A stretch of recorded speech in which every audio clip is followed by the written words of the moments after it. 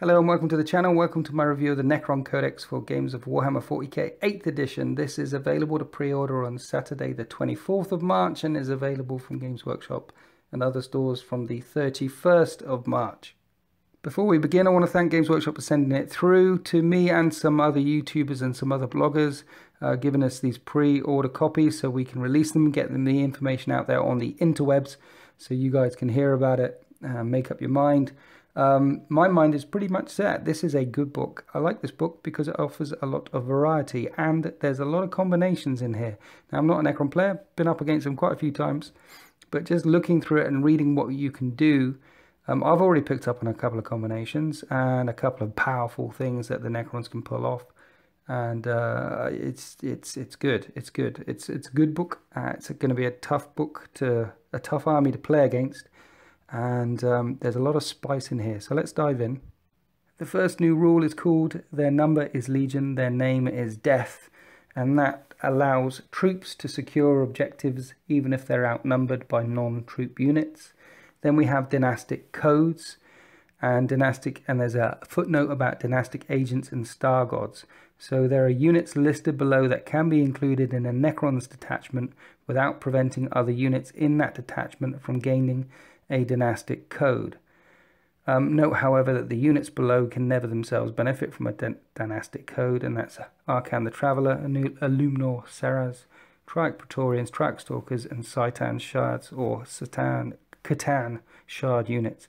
Praetorians, um, if you know your fluff, if you know your narrative, they're the overlords. They look after the dynasties. They're they don't get involved in that inter-dynasty conflict. And C'tans, well, they're star gods, so they certainly don't benefit from any dynasty keywords. And most things in here do have the dynasty keyword. So wraiths, for example, have the dynasty keyword. I mention that because let's go on to straight away to these dynastic codes. So let's start with the last one first. Nephrekh, translocation beams. If a unit with this code advances, adds 6 inches to its move characteristic for that movement phase. If it's subject to my will to be done, then add 7 and uh, in addition, if a unit with this code advances, its models can move across models and terrain as if it wasn't there. So wraiths, for example, they move 12. And if you give them this dynastic code, um, translocation beams, then they're going to be moving 18 inches because they're going to add 6 inches to that. 18 inches is a long way, particularly when you have a look at one of the stratagems, and one of the stratagems is called Adaptive Subroutines. It's cost one command point. Use this stratagem after a Canoptek, Canoptek unit from your army has advanced and this unit can still shoot and or charge this turn. So, Wraiths moving 18 inches with that dynastic code, you pop a command point on it and then they can charge. If the average charge range is 7 inches and you need to get 1 inch away, 8 plus this 18 is a 26 inch move and charge across the board. Um, if you can charge 12 inches, and you can, roll 2d6, 12 plus the 1 because you need to get an inch away is 13, 13, add your 18 because you moved in advance. Basically, they've got a 31 inch breadth range and charge. Wraiths charging turn one. They're going to be moving, they're going to be advancing. You're going to be using that one point stratagem to make sure they can charge after they advance. That's if you have Nephrekh, translocation beams, dynastic codes. I like it. But imagine you can also do that with scarabs. Scarabs have a 10 inch move. They can advance an extra 6 with the translocation beams and then spend a command point and they could charge after they've advanced. It's not just so much first turn charges. Imagine you're in turn 3 and these wraiths are suddenly moving 18 inches and then charging after moving 18 inches in turn 3. They can get from one side of the board to another side of the board very quickly. That's a combination right there. Nasty. Now let's look at the Sautekh um, dynastic code, relentless advance. I'm going to break this down into two bits. Let's do the second part first. So, in addition, unless the unit is advanced. So basically when you don't advance, a unit with this code does not suffer the penalty to hit rolls for moving and firing a heavy weapon. So that's the second part first, okay? So don't advance and you can move and fire your heavy weapons and there is no negative. let's think about Doomsday Arks for just a second because Doomsday Arks have the two shots, right? Uh, low power and high power shot. They're both heavy shots. To get off the high power shot, you have to stand still. So it doesn't really come into effect there. But as soon as you start moving, the other shot is a heavy shot and it would be minus one to hit. Well, now it isn't minus one to hit, so long as you don't advance. You're going to be moving and firing that heavy weapon. And the Doomsday Ark, the low power and the high power shot used to be D3 and D3 shots. It's still strength 8 minus 2 AP D3 damage for the low power shot.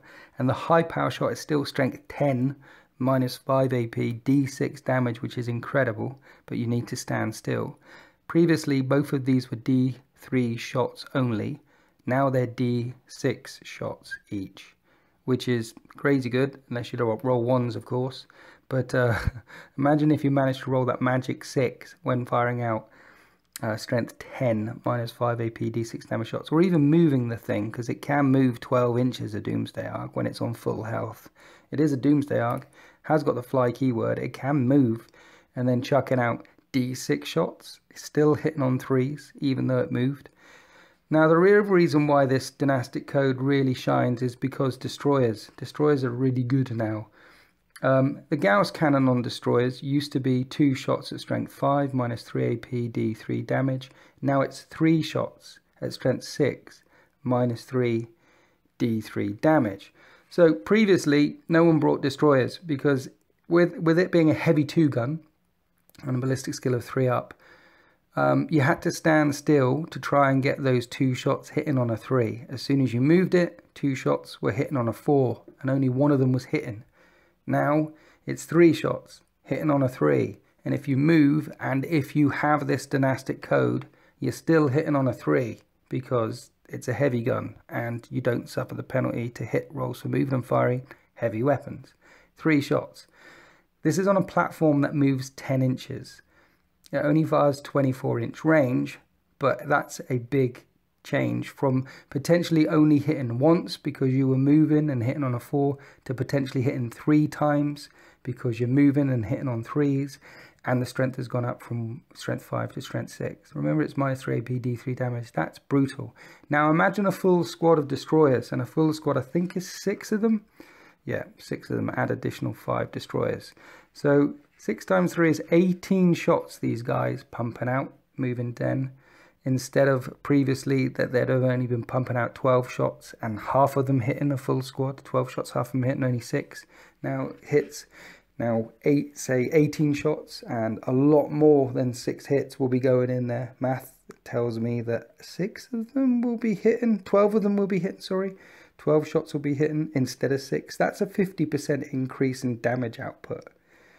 Add to that a one point stratagem extermination protocols Use this stratagem in your shooting phase before shooting with a Destroyer Lord, a unit of destroyers, or a unit of heavy destroyers from your army. Re-roll failed hit rolls and wound rolls for this unit until the end of the phase, and it's one command point. That's incredible. So destroyers are back in a big way. You're going to be moving them, you're going to be bringing squads of them and re-rolling the hit and wound and chucking out more shots if you have the Sakuth um, or however you pronounce that, Sakteth, relentless, advanced discipline. That's crazy good. And let's talk about the first part of that dynastic code. If a unit with this code advances, it treats all ranged weapons as assault weapons. So basically, you can advance with these guys and still fire. So rapid fire 1 weapons will be treated as an assault 1 weapon. If these uh, destroyer lords advance, so you're moving them and moving them a bit further because you're advancing, then you treat those weapons as assault weapons. Um, so you can still fire after moving anyway. It's it's good. I like it. Right, let's talk about the next dynastic code, Mephrit. Solar Fury. Each time a model with this code shoots at an enemy that is within half range of the weapon's maximum range, the armor penetration characteristic of that weapon's attack is improved by 1. Now this one's also crazy good. because half range AP plus 1 all the time or minus 1 all the time. That's good. It's essentially getting closer and closer to this Necron army or when it gets closer and closer to you, it would be like walking into a blender. How many psychic powers out there, how many buffs, how many auras out there are there in the 40k universe that allows people to increase their armor save by one? And it is seen as significant from a gameplay point of view. Well, this helps increase the AP of all of your shooting by one within half range. Um, it is going to be very, very effective. Suddenly your Gauss gun's going up to AP minus uh, 2. Those destroyers that I was talking about, instead of AP minus 3, AP minus 4 within half range, that's burning through power armor. That's no saves to power armor. Heavy destroyers with Gauss cannons, AP minus 5 within half range, and their range is 36 inches. That's Mephrit Solar Fury is, is good. Mind you, they're all good. Uh, we've got Novokh. Oh, I'm butchering these names, but Novake, Novokh, awakened by murder. So let's say Mephrit was a shooty one, uh, Sakuth, uh, Sakteth, Sutek, I'm murdering these words. the relentless advance allows you to move and fire heavy guns. The other one was shooty, improved the AP within half range. Awakened by murder is about assault. And this is, you can re-roll all failed hit rolls in the fight phase when you charged, or were charged, or perform a heroic intervention. Reroll all failed hit rolls, regardless of whether you charge or are charged. So if you're bringing an assault-based Necron list, so if you're bringing um, uh, your Wraiths along, Scarabs, Spiders, Flayed Ones, Lychguard, these all guys all have the dynastic keyword. They're re-rolling to hit when they charge. Flayed ones took a bit of a knockback. Flayed ones used to have four attacks. They've gone down to three attacks.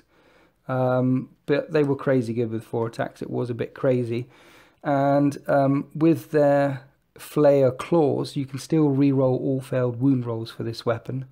But a unit of 10 flares, for example, that would be 30 attacks, re-rolling a hit, re-rolling a wound at strength 4, you're going to be piling the wounds on there.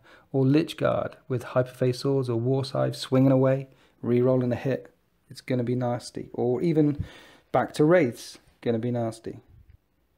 Yes, Lychguard only have two attacks, but their Hyperphase Sword has gone up by plus one. So they were strength 5, now they're strength 6. It will come into effect sometimes. Um, smacking units with Gravis armor, for example, when the Lychguard went flying into um, uh, uh, into what are they called? The jumpy dudes. Inceptors, when they went flying in there, their toughness 5, or a Space Marine Captain in Gravis Armor, toughness 5. They were only wounding on 4s, now it's plus 1 strength, so they're back to wounding on 3s, wounding all Space Marines on a 3 up. So you can build a solid uh, list that is assault based to take advantage of that uh, dynastic keyword, I think. And then you've got the Nihilakh. It's you know nihilistic, Nihilakh. I don't know. Aggressive, aggressively territorial. This is the last dynastic code. There's only five. Reroll hit rolls of one for units with this code whenever they shoot, including firing Overwatch, as long as they didn't move or they have not disembarked from a transport. So you need to stand still to do it, but re-rolling hit rolls of one. Now, not being able to move is a bit of a pain, but your entire army with the dynastic keyword, say turn one, you set up some good shooting lines. Your entire army stands still and they're re-rolling hit rolls of one.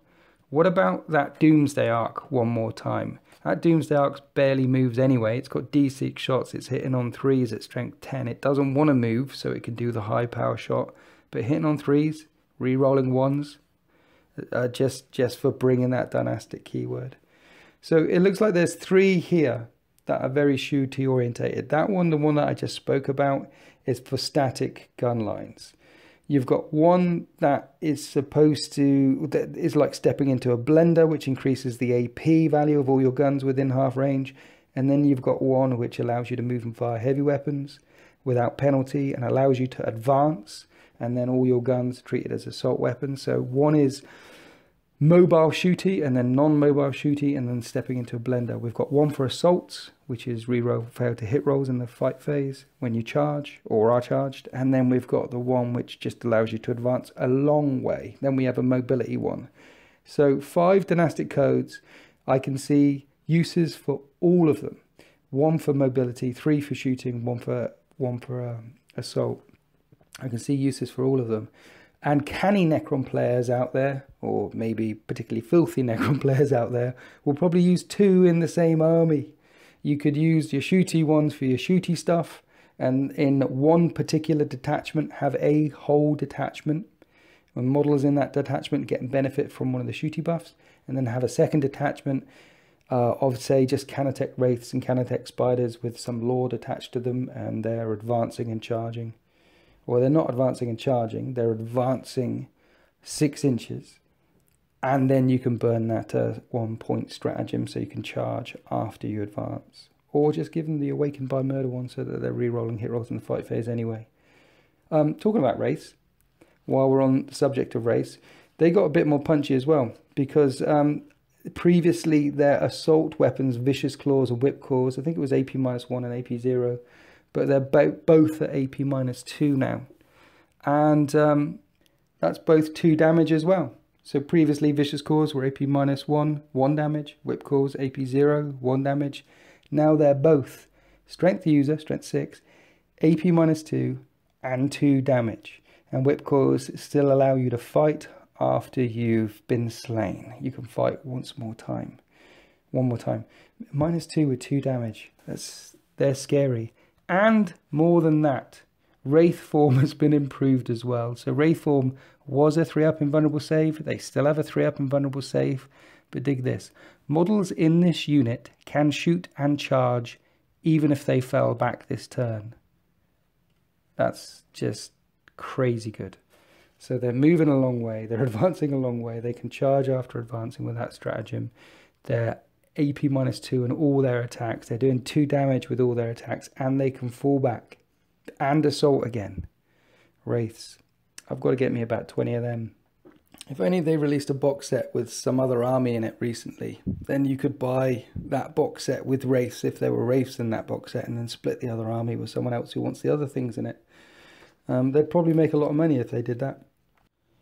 Right, I liked all of them. I like all the dynastic codes. I particularly like the way it allows you to play the army differently. Let's look at these stratagems. The good thing about these stratagems is there aren't very many big expensive ones in here. Um, most of them are one points and there's some very, very good ones. Let's start with a 2.1 that I think most of you guys should be familiar with. Repair subroutines. And that way uh, two points, you select a Canatep unit from your army that's on the battlefield, and that unit gains the reanimation protocols ability until the end of your turn. I wanted to mention that because I was mentioning Wraiths. So for two command points, you can bring back Wraiths. And let's not forget with the reanimation protocols, when models come back, they come back with all of their wounds. Wraiths have three wounds, so you can bring them back for two command points. Or at least get access to reanimation protocols and bring them back on a 5 up uh, with two command points. But let's talk about flayed ones because it sounds like they got a bit of a hit, right? Well, one point, disruption fields. Uh, use this stratagem before a Necron's infantry unit from your army fights in the fight phase, and flayed ones are a Necron's infantry unit. Increase the strength characteristics of all models in that unit by one until the end of the phase. So I see this stratagem mainly being played on flayed ones, but you could put it on a Lychguard or Praetorians or anything else for that matter. Talking about a really nice uh, close combat uh, stratagem, how about this for one command point? Use this stratagem in the fight phase before a Necron character from your army fights. fights. It's called Entropic Strike. Invulnerable saves cannot be taken against the first close combat attack made by this character this phase. Now, I guess it differentiates between the first close combat attack and the second and the third, just in case this guy can fight more than once. But imagine your warlords right up in the grill, or any character up in the grill against, I don't know, Space Marine, uh, Captain in Gravis armor, or a, let's say, a Tyranid Hive creature. And um, it can't take its 4 up and vulnerable save because you're smacking it. Now, give it a relic. There's a relic called the Void Reaper and the Void Reaper always wounds on a 2 up. Always wounds on a 2 up, and it replaces a War Scythe or a Void Scythe. And it has this following pro profile. It always wounds on a 2, it's AP minus 4, and it does 3 damage.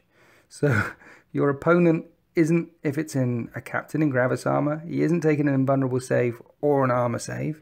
If it's a Tyranid Hive creature, for example, Hive Tyrant, it isn't taking an invulnerable save or an armor save because it's AP minus 4 within. And uh, you'll be hitting on twos because you're a lord, and you're going to be wounded on twos, and you're doing a flat 3 damage for each wound caused. One command point, Entropic Strike. I like it. Another really good one is quantum deflection. So use this stratagem when an enemy unit targets a vehicle in your army that has the quantum shielding ability. So quantum shielding, so monoliths have it, annihilation barges have it, a lot of your vehicles have it. And the quantum shielding is basically each time a model fails a saving throw, um, so you get hit by a las cannon, you then roll a d6, and if the result is less than the damage inflicted by the attack, then the damage is completely ignored. So you hit something with a las cannon, and on a you do 4 damage. If you roll a 3 or less, you just ignore that las cannon. Well, with quantum deflection, and um, you pick a vehicle before any hit rolls are made, and until the end of the phase, subtract 1 from rolls made for your vehicle's quantum shielding ability. So say you do 4 damage, then you roll your vehicle's quantum shielding ability, and you roll a 4, and then you minus 1 to that because of quantum deflection, and you're down to 3, and then you can ignore that damage completely. Basically, you just need to roll equal or less to the amount of damage that the opponent does to your vehicle to ignore the damage. That one's going to come in handy as well. Dimensional Corridor allows you to deep strike within 9 inches of your opponent. You need a monolith. So basically use this stratagem at the start of your movement phase. Right, the very start of your phase. You pick an infantry unit from your army that's more than 1 inch away from an enemy model and remove it and then set it up again so that it's wholly within three inches of a dynasty monolith from your army and more than one inches from an enemy model. So say you got a monolith over here and it's about to get charged by some terminators or a dreadnought or something nasty or there's something nasty nearby it that you want to hit with your um, with your lychguard or you want to hit with your infantry unit, or you can pick an infantry unit on the entire other side of the battle grid, so long as they're not in close combat, pick them up and uh, deploy them wholly within three inches of the monolith and more than an inch away from enemy models. And then this is this is the good bit.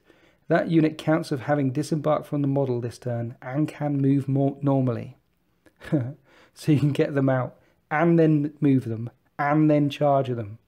So essentially you could slingshot an infantry unit from one side of the battle grid right next to a monolith, then move it, and then charge.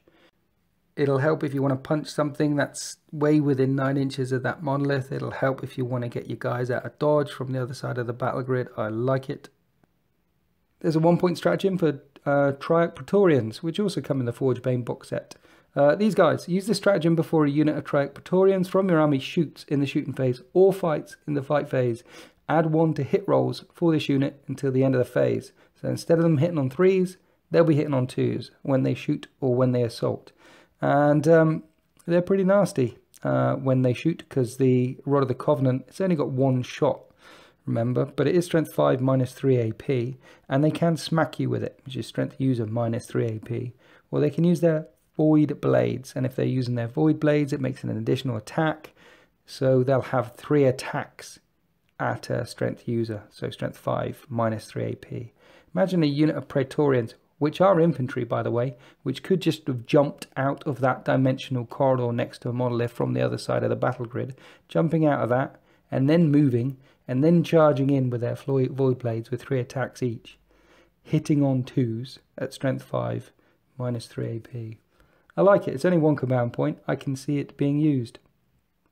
Let's look at these two point stratagems. Dispersion field amplification. These are for Lychguard. Lychguard have dispersion shields which give them a 4 up invulnerable save, right? Well, for two command points, you can make it a 3 up invulnerable save and it acts like the Robots of Doom from the AdMech lists. So each time you roll an unmodified 6 for this unit's invulnerable saving throw, the unit that made the attack suffers a mortal wound after it's finished making all of its shooting attacks. So two command points, you get your 4 up and invuln to a 3 up and invuln and then your opponent shoots at you. Use the stratagem in the shooting phase when an enemy unit targets the unit of Lychguard, so then you burn your two command points. Say they're shooting you with lots and lots and lots of shots. say the robots of Doom are firing at you, the Kastelan robots from the AdMech list, because they can throw down a hundred odd shots, right? And then the guy is shooting away, and then after you make sixes, all of the sixes that you make to save bounces back and causes mortal wounds. Um, that one is good. I know it's good because I run Kastelan robots in the AdMech list, and the number of times my opponents roll sixes and stuff bounces back and hurts them. And plus, getting your invulnerable save to a, from a four to a three is just is just good anyway. Uh, two command points: enhanced reanimation protocols. I think we know this one. You can re-roll reanimation protocols of one. Two command points: Wrath of the C'tan. Uh, basically, after your C'tan shard makes a power of the C'tan uh, attack um, you roll a dice and then you automatically immediately use the power rolled even if it's already been used that phase. So the powers of the C'tan, as you know, or as we'll get to in just a second, but the powers of C'tan deal out a lot of mortal wounds. If you're next to a unit, or if you, most of them are 24 inch ranges, some of them are a bit shorter. But um, if you've got a couple of extra command points to burn, then roll two, roll a dice, spend two command points, and immediately fire off another power of the C'tan. For two command points, we've got Methodical Destruction. This is the Satuth, the Sateth stratagem. This is for that army that has relentless advance, the one that can move and fire its heavy weapons without penalty, the ones that can advance and still fire their guns. They treat, as soon as they advance, they treat all their guns as assault weapons. This one costs two command points. And after a Sautek, I'm going to call him Sautek, unit from your army has an inflicted an unsaved wound on an enemy unit, add one to all hit rolls for all friendly Sautek units that target that unit um, for this phase. So you hit it, you wound it, everything else shooting at that unit will be hitting on twos pretty much because that's what uh, Necrons normally hit at unless they've got a degrading stat line. That one's good. Um, it's like Vengeance for Cadia. I forget what the name of that other strategy is. But that one's good, particularly as this is going to be a shooting dynasty. And then Reclaim Lost Empire. This is the guys who are aggressively territorial. These are the guys that can reroll hit rolls of one if they stand still. Use this stratagem at the end of your turn. Select one of the units from your army if the unit is within 3 inches of an objective marker or if it did not move for any reason during this turn, then until the start of your next turn, you can add 1 to saving throws made for that unit and, inc and increase their attacks characteristics in the unit by 1. So if you're standing still and shooting, you're re-rolling hit rolls of 1, and then for 2 command points you can dump this on a unit and increase their um, save by 1. Um, Nefret stratagem. Um, these are the guys who have the translocation beams. These are the guys that can advance an automatic 6 inches. They have a one point stratagem called translo translocation crypt. And you use this during deployment. You can set up an infantry or swarm unit from your army in the crypt instead of placing it on the battlefield. And then at the end of any of your movement phases, this unit can translocate into battle and be set up anywhere on the battlefield that is more than 9 inches away from enemy models. So basically deep striking in a unit of infantry or a swarm unit more than 9 inches away from enemy models at the end of any of your movement phases. That costs a command point. So these guys can really get around. Not only can they assault 6 inches, uh, sorry, advance 6 inches, um, that's their dynastic code all the guys in the unit can advance 6 inches, but for a command point you can stick stuff in reserve and drop them down. Uh, the Novokh stratagem, again butchering these words, these are the guys who are awakened by murder. These are the guys that can re-roll all hit rolls when they fight. Their command, their stratagem costs three command points. And what you do is at the end of the fight phase, you select any Novokh unit from your army and that unit can immediately fight for a second time. Um, I guess if they're fighting, so you can re-roll all failed hit rolls when they charge. Yeah, um, if they charged this turn. So if they charge in this turn, then then they're re-rolling all their hit rolls in the fight phase, then drop this three command points on them, then they can immediately fight for a second time, and they will be re-rolling all their hit rolls again because they charged that turn. So when you absolutely want to kill something dead, three command points, that's the way to do it. Again, the big unit of flayed ones, re-rolling hit rolls twice, double attacks. Three command points, so it's a bit pricey. Then the Mephrite stratagem. Um, these are the guys whose AP increases the closer they get to the enemy. Uh, use this before a Mephrit unit from your army attacks in the shooting phase. Each time you make an unmodified hit roll of a 6, you can make one additional hit roll for that model with the same weapon against the same target. These additional hit rolls themselves cannot generate further hits. Three pages of stratagems. I'm not going to go through all of them. Some of them aren't very good, but most of them are. Here's a couple more. Resurrection protocols. When a Necron's character from your army dies, excluding Trazyn the Infinite or a C'tan, uh, roll a dice, and on a 4 up, he gets up again with one wound left. Yes, you've got to spend a command point, and then it's only a 50 50 chance. And it does say this stratagem cannot be used to resurrect the same model more than once per battle but you, it could be at the very end of the turn that you're about to lose your warlord. You might want to burn a command point for a 50-50 chance to get him up again. How about damage control override? One command point. Pick a vehicle, any vehicle from your army until the end of this turn. Use the top row of that vehicle's damage table, regardless of how many wounds it has left. Back to that Doomsday Ark, firing at full effect, or a monolith firing at full, full effect for one command point, no matter how much damaged it is. Here's a nice cheeky little one. Self-destruction. Uh, it's basically a Canoptek scarab swarm. You move your swarm in and for one command point you can pick up one of the swarms, one of the bases. And then roll, so you pick it up, you destruct it, self-destruction. Then you roll a dice and on a 2 up, the explosion takes out D3 mortal wounds on your enemy. The enemy unit suffers D3 mortal wounds.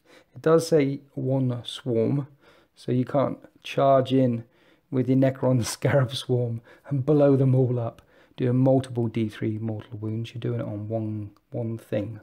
But I like it. It's a, it's a chance. Say you say there's some. Yeah, I like it. It's good. It's, it's fluffy.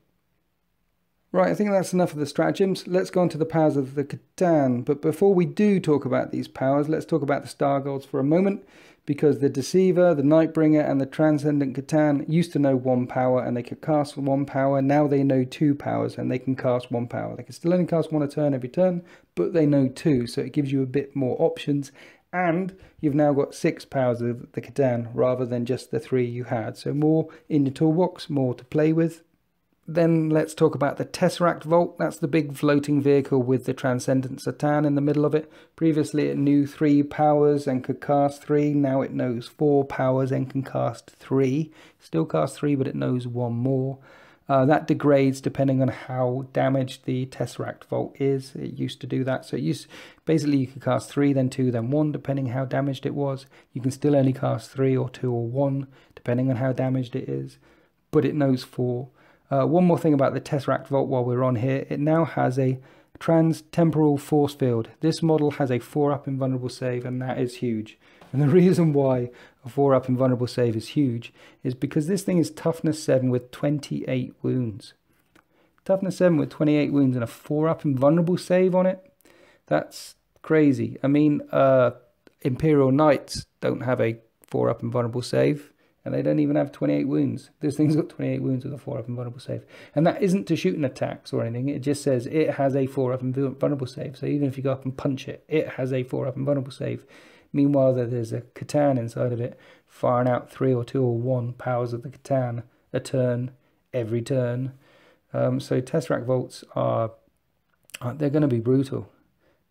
The Tesseract Vault is going to be particularly brutal when you consider the powers of the C'tan. So you used to have Antimatter Meteor, Times Arrow, and Seismic Assault. You've still got those three. Um, they all were 24 inch range. Now two of them, Antimatter Meteor and Seismic Assault, are 24 inch range, but Times Arrow has gone down to 18 inch range, not 24. Why? I don't know.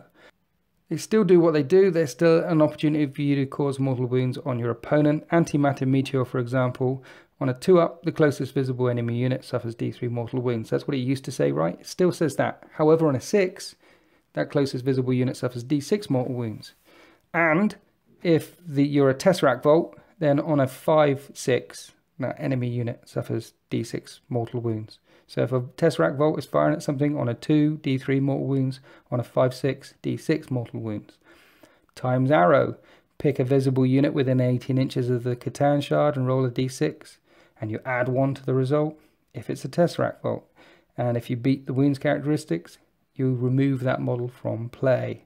Um, seismic assault. Roll d6, uh, pick a visible uh, unit within 24 inches of the C'tan shard and roll a d6. For each model in that unit, add 1 to the result. If the C'tan shard using the power is a Tesseract Vault. for each unit, for each roll of a 6 up, that unit suffers a mortal wound. Say there's a big horde of bad guys. Say there's like 20 or 30 models in the horde. Um, it's not unusual to see uh, 30 horde models these days. 20 horde models these days. Yes, you've got to get sixes to remove, um, to cause mortal wounds, but if it's a Tesseract Vault, that's on five sixes, causing mortal wounds. So if there's a visible enemy unit within 24 inches of you and it has 30 models in it, and uh, Tesseract Vault does mortal wounds on a 5 up, that means you're going to be doing 10 mortal wounds. That's a lot of mortal wounds. Right, then other three, we've got Sky of Falling Stars, Cosmic Fire, and Transdimensional Thunderbolt.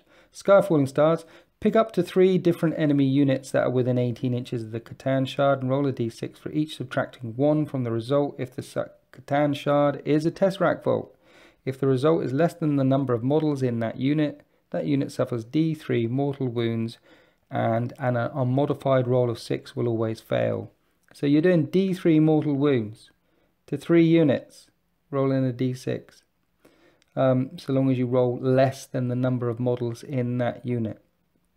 It's nice. All three units have to be within 18 inches of the C'tan shard, but one could be behind, one could be to the front, one could be left, it could be all over the place. Sky of Falling Stars, Cosmic Fire. Roll a d6 for each enemy unit within 9 inches of the C'tan. Every enemy unit within 9 inches of the C'tan. Add 1 to the roll if the C'tan shard using this power is a Tesseract Vault on a 4 up, that unit being rolled for suffers D3 mortal wounds. So your C'tan's wheeling in there. There's three, four, five enemy units around you. On a 4 up, you'll do D3 mortal wounds to that one, and then that one, and then that one. It's 9 inch bubble. That one's good. Transdimensional Thunderbolt. Pick a visible enemy unit within 24 inches of the C'tan and roll a d6. You can only pick a character if it has more than 10 wounds. Add 1 to the result if the C'tan shard using this power is a Tesseract Vault. On a 4 up, the chosen unit suffers d3 mortal wounds. Remember, if it's a Vault, that'll be on a 3 up. The chosen unit suffers d3 mortal wounds. Then, roll a d6 for every enemy unit within 3 inches of that unit. And on a 4 up, the unit rolled for suffers a mortal wound. So, Powers of the C'tan.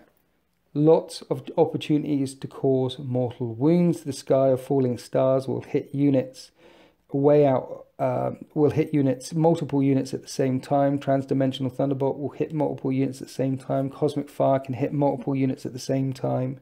Remember that there is that stratagem that you can use called Wrath of the C'tan. It costs two command points, but then you roll a dice and you can immediately do another C'tan power. They can only do one per turn. Is this enough to make people start bringing C'tans Because you don't see much influence, you don't see them on the tabletop very often. I'm going to say no. But is it enough to make them bring Tesseract Vaults? I'm going to say yes, because all of these dice rolls are improved by one with a Tesseract Vault. Now, Tesseract Vault has got 28 wounds and a 4 up and vulnerable save, and it isn't going anywhere for a long, long period of time. So yeah, that's the powers of the C'tan. It seems like so far that this is Codex Destroyers, Wraiths and Tesseract Vaults, um, which is not necessarily a bad thing.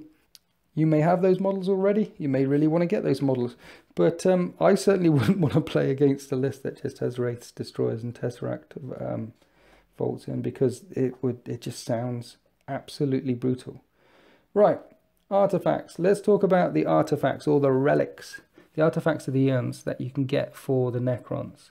Um, we have, um, there are six uh, melee weapons in here, or six shooting weapons, six pimped up versions of weapons.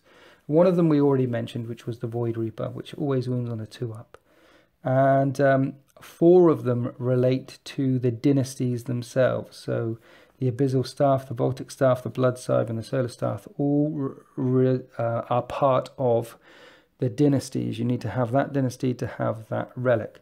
Remember as well, when you pick relics, it says you can't give them to C'tan shards. So I know there's probably a few of you thinking out there already. One minute, if I give them a shard. No, you can't give them to um, C'tan shards. You can only give them to characters and you can't give them to named characters. So you can't give them to, I don't know, the Stormlord. He's already got a relic. Out of the dynastic ones, there is one that isn't a weapon, and it's called the Time Splinter Cloak, and it's for Nilhalak models. Nilhala. These are the ones that are aggressively territorial, the ones that stand still and can reroll hit rolls of one when they shoot stuff.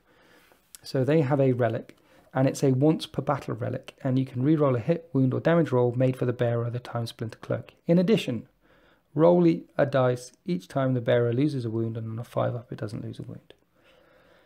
Okay, two pages of relics. Uh, there's two more weapons that you can pick, um, which are not dynastic the Void Reaper we mentioned, and the Gauntlet of the Conflagrator. Uh, the Gauntlet of the Conflagrator uh, can only be fired once per battle, and this weapon automatically hits its target. Roll 1d6 for each model in the target unit that is within 8 inches of the firer, and that unit suffers a mortal wound on a roll of a 6 up, so that isn't great. But let's talk about the other four that are non-shooty. So these are the four other standard relics that anyone can take. One minute, there's another one, a fifth one. We'll get to that. Uh, the first one's the Orb of Eternity. So a model with a Resorb. The Orb of Eternity replaces the Resorb and then once per battle, immediately after you've made a reanimation protocols roll, you can make reanimation protocols rolls for models from friendly dynasty infantry units within 3 inches of the bearer. And when making these rolls, add 1 to the result of each roll.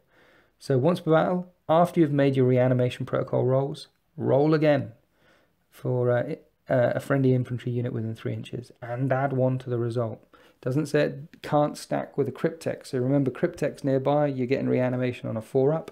This thing, Reans on a, will give you a 3 up if you've got a Cryptek nearby. And you've just done your reanimation protocols. So you've got a big unit of 20 guys. And a, a bunch of them got murdered and there's only two left. You roll your reanimation protocols, use your Orb of Eternity um, once per battle, and then roll again. I like it can see that one coming. Lightning Field. The bearer of the Lightning Field is a 4 up invulnerable save.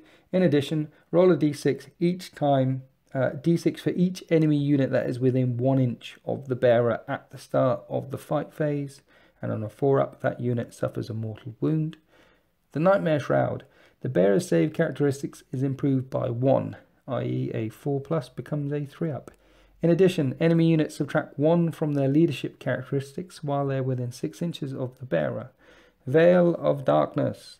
Once per battle, at the end of any of your movement phases, the bearer can use the Veil of Darkness. When they do, the bearer and up to one friendly Dynasty infantry unit within 3 inches of the bearer are removed, then set up the bearer and the second unit if you chose anywhere on the battlefield, more than 9 inches away from enemy models and within 6 inches of the bearer. So I like that. I like anything that allows you to move stuff uh, completely redeploy an army. I think mo the movement phase can often win or lose you a game. But the Veil of Darkness, once per battle, pick up an entire unit with your character and dump them somewhere else nine inches away with your character. And then we have the Nano Scarab Casket. And this is for a model with Phylactery only. And the Nano Scarab Casket replaces the Bearer's Phylactery. The bearer of the nano scarab casket regains D3 loss wounds at the beginning of each of your turns rather than 1 from the living metal ability and in addition the bearer also regains D3 loss wounds at the beginning of your opponent's turn. The first time the bearer is slain, roll a d6 and on a 4 up the bearer is set up again at the end of the phase as close as possible to its previous position and more than 1 inch away from enemy models with d6 wounds remaining. Um, that's good. D3 wounds in your turn and your opponent's turn, and you can't kill him because he'll get back up again on a 4 up, 50 50 chance, but with D6 wounds remaining. Um, those are the main um, uh, relics. let's look at the warlord traits, starting off with the dynastic warlord traits. Sautekh is the first one, again murdering that word. These are the guys that if they move their heavy weapons, they don't fire, uh, they, they can fire their heavy weapons without penalty, or if they advance, then all their weapons count as assault weapons. Those guys. These are the guys that Imhotep the Stormlord um, is a part of. If you bring along Imhotep the Stormlord these days, by the way, he's got a new ability called Grand Strategist. You get one extra command point. And Imhotep the Stormlord, as well as getting an extra command point, will have this Warlord trait, or any Warlord that you bring from the Sautekh, which is basically you get command points back on a 5 up. Each time you spend a command point to use a stratagem on a 5 up, that command point is immediately refunded. So there's your command point farm. Mephrit um, Mephrit dynasty adds 6 inches to the maximum range of all assault weapons fired by your warlord. In addition, your warlord can shoot assault weapons at enemy characters even if they are not the closest enemy model. These are the guys whose AP value goes up when you get within half range. Their AP is improved by 1. Oh, probably worth mentioning as well that the Sautekh one, um, all of the named characters in the book, such as Nemesor Zahndrekh and Vanguard Oberon or Vargard Obyron and they're all um, part of the Sautekh dynasty. So they've all got that command point farming thing. The exceptions are Illuminor Szeras. He hasn't got a dynasty. Arca, uh, An, Ankar, Anrakar, Enrakatir, the Traveller. The Traveller guy, he hasn't got a dynasty. And Trazyn the Infinite is Nilath, Nilhylak. What I'm saying is, apart from those three that I named really badly, they're all Sautekh. Um, so let's go back to the warlord traits. Flipping through pages here. Um, Nil Nihilakh. Nihilakh. Back to Nihilakh. Trazyn the Infinite is from Nilak. Nihilakh. Your warlord always fights first in the fight phase. Right, okay, done. Uh, Nephrekh, Skin of the Living God. Your opponent must subtract one from hit rolls that target your warlord. Um, this is the dynasty that um, have the translocation beams that advance six inches. And then Novokh, these are the guys that uh, reroll all fail hit rolls when they fight.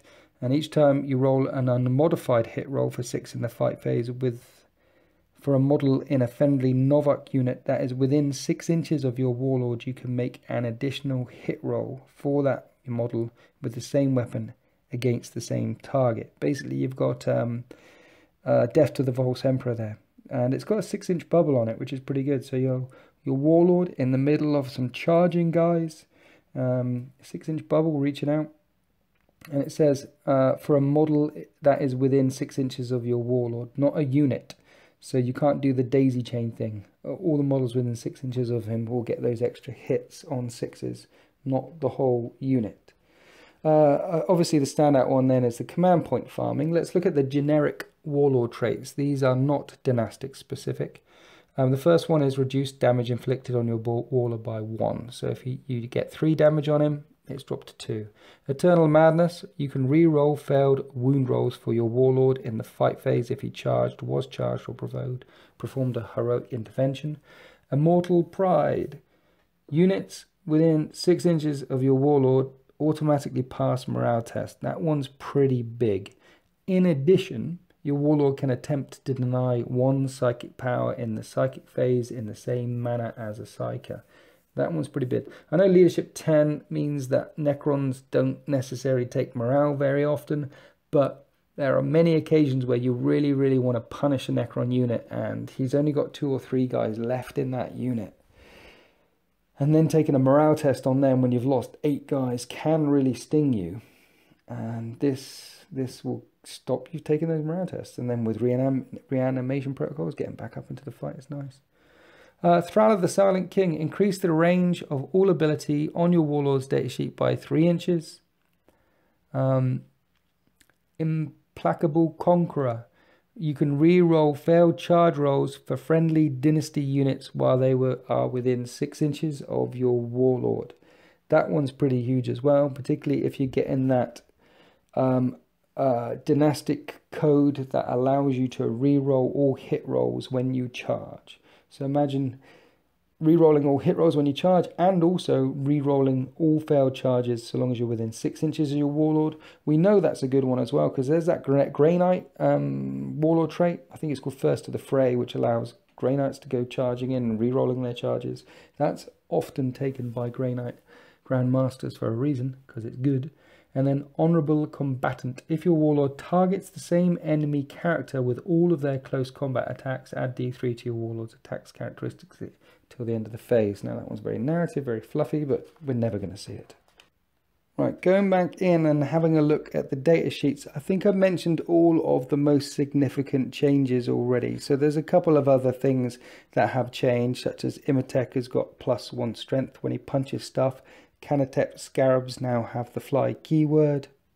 But I think I mentioned the most significant things, the Doomsday Arks having the extra attack, Void Blades giving you an additional attack every time you fight with the weapons, not just Praetorians but Lords the number of shots destroyers put out now. Four up and vulnerable save on the thingy bob. Big floaty vault thing with the star god trapped inside it. None of the HQs have really changed unless I'm missing something. Night Scythes and Tesla Destructors still doing what they're doing. Ghost Arks still doing what they're doing. The real magic in this book comes from the the way dynastic codes will shape the way your army functions and the different builds that you can bring and also the way some of those stratagems will complement and stack with some of those dynastic codes. One minute, I just remembered the Transcendence C'tan has uh, a, a, new ability. It used to have Writhing Worldscape. It's changed a bit. It's got Fractured Personality now. So before the battle, you pick one of the abilities opposite and apply for the rest of the battle. Alternatively, you can roll 2d6 to randomly determine two abilities and apply them both. However, duplicate results have no effect. So let's have a look at these six abilities. You can pick one or roll a dice and have two. And it goes like this. Cosmic Tyrant. You can use two powers of the C'tan at the end of each of your movement phases instead of only one. So you're going to be picking that one because the, this Transcendent C'tan knows two powers of the C'tan and can only use one. And then with Cosmic Tyrant, he knows two and can use two a turn, and they do mortal wounds. It's basically like psychic powers, but without having a roll, and you can never perils. Uh, two is immune to natural, natural law, add one to saving throws. Three is silent necrodermis, regain D3 lost wounds at the start of each your turn. And then you've got transdimensional displacement. When the model advances 12 inches to its move, add when this model advances, add 12 to its move characteristics instead of rolling a dice. So it moves 8. Add 12 to that, it's going to be moving 20. This guy's going to be getting about a bit if you get that one. That one's pretty handy as well, but nowhere near as good as Cosmic Tyrant. Entropic Touch, reroll all failed wound rolls when he fights. Remember, this guy's got his cracking tendrils. He's strength user, minus 4 AP, d6 damage. And Writhing Worldscape, and you know what that one does. But basically, the Transcendent C'tan can um, do two Psychic Powers a turn. Psychic Powers a turn, Powers of the C'tan a turn. Right, back to the points. Let's start off with a Transcendent C'tan. How much more do you have to pay for that awesome bit of goodness? Of popping up two powers a turn. Well, it's minus seven points. He's got cheaper. The Nightbringer's gone down 20 points as well. The Shard of the Deceiver is still the same. How much does that um, big Tesseract Vault? Remember, it's now suddenly got a 4 up invulnerable save. It was 496 points. It's still 496 points. You're getting a 4 up invulnerable save for free. Wraiths, however, did go up in points cost, and I should think so too. They're plus 17 more points more expensive, so that's over 50 points to bring them. And then when you tag on their war gear, either the whip coils or the vicious claws or the particle casters, they're coming in north of 60 points a model, um, but they're worth it. So then let's have a look at destroyers because they got awesome, remember. Now, Gauss cannons are still 20 points. Heavy Gauss cannons went down a little bit, I think about 5 points. And destroyers they've gone down. They've gone down 13 points. Destroyers with a Gauss cannon used to be 63 points, something like that, and they couldn't shoot for toffee. Uh, now they can really, really shoot, and they're really good, and they're 50 points, and they can hit the side of a barn door. So destroyers are back. I've mentioned that already, but I really like the idea of destroyers. I can just see lists with destroyers and wraiths in it. It's going to give me deja vu for 4th edition when that's all anyone ever brought. Crypteks, 16 points cheaper. Death Marks, 2 points cheaper. Destroyer Lords, 14 points cheaper. Overlords, 15 points cheaper. Tomb Blades are 10 points cheaper. They've gone down to 14 points. They're a bargain. Uh, Triarch Praetorians, three points cheaper. Warriors are the same. Triarch Stalkers are the same. Immortals, Lords, these guys are the same. Uh, Catacomb Command Barge, same points. Quick note on Tomb Blades, by the way, they have got a new ability called Evasion Engrams. So your opponent must subtract one for hit rolls that target this unit in the shooting phase. They can still take Gauss Blasters, Particle Beamers, Tesla Carbines, but minus one to hit them and 14 points to pop before you add on the War Gear. Let's add on the War Gear. No, I was just checking, double checking there. The points of the guns is still the same. They come with Gauss blasters, a pair of Gauss blasters, which are 9 points a pop. So that's 18 points for the two Gauss blasters. Um, you add that to the cost of the tomb blades. That's 32 points for a tomb blade, which is uh, 10 points cheaper. And it's minus 1 to hit them. So tomb blades are a thing now. You can still take shadow looms or nebula, nebula scopes. The shield vanes give them uh, uh, they can take shield vanes and that's a three up save. The shadow loom gives them a five up vulnerable save. Nebula scope is you don't get bonuses to their save for being in cover when you shoot at people. Let's have a look at the points cost of them. Shadow Loom's still the same, 5 points for a 5 up invulnerable save, but Shield Vanes, which increase your save from 4 to 3, well, Shield Vanes used to be 6 points, but they're 3 points now, so they've gone down half price. So Tomb Blades are a thing, I like them. So that's 35 points with some shield vanes. So 35 points. You've got something with a 3 up save, 2 Gauss, Gauss blasters, rapid fire, 1 strength 5, minus 2 AP, dipping around all over the place with a move of 14. 3 up save, 2 wounds at toughness 5, and it's minus 1 to hit them. Yeah, I'll take a couple of them, please. In your heavy slot, most of the heavy stayed the same, but Canoptek Spider's gone down 11, Doomsday Ark down 10, Heavy Destroyers down 13.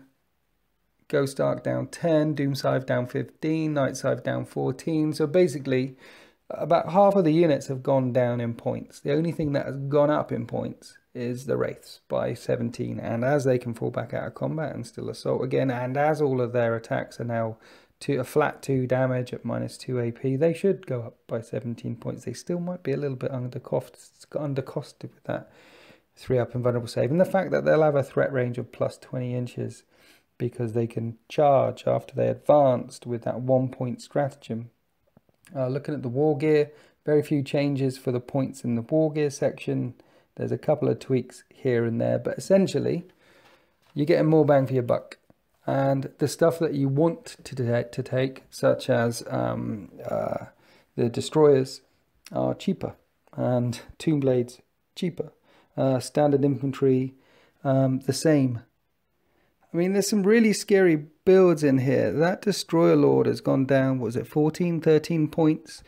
So he's re-rolling hit rolls of one, right? And if there's any destroyers within six inches of him, then they re-roll their wound rolls of one. Destroyers re-roll their hit rolls of one anyway. So you're probably going to bring an unnamed Destroyer Lord from the Sautekh dynasty.